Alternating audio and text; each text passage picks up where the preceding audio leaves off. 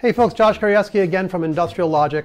The subject of continuous deployment comes up a lot, and one particular question was recently raised in a Twitter thread, and it was about do you deliver value when you deploy to production?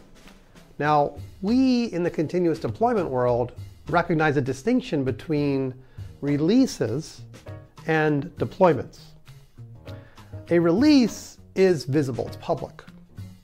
A deployment is different. A deployment may not be visible to the customer. It might just be something that you're working on, you're changing something, but it's not quite ready. And yet, you've checked it into the trunk and it's gone to production and it's in production. It's not necessarily being used yet.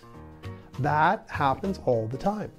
Deployments may or may not be of value to, to you or your customer. Now, it could be that you deploy something and only a fraction of folks see it, right? The 1%, and then you get some data on that, and you might, you know this story. It goes from 1% to 3% to 5 to 10, and then maybe you make it completely public to everyone, a feature like that. That's a different thing, and that might be how you're approaching it when, when you deploy something. Just make it visible to a small percentage of people. But some deployments are simply a work in progress.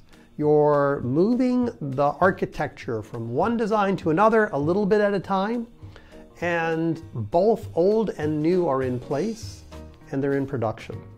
And maybe the new isn't getting used yet, but eventually, as you continue to work, you're going to switch from old to new, make sure everything works, and release.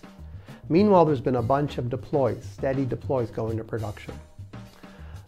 Continuous deployment is both safe delivery of deployments and of releases. Both are valid and you don't have to demand that everything you deploy adds value to the customer. Some things just lower the risk for you and get new code into production.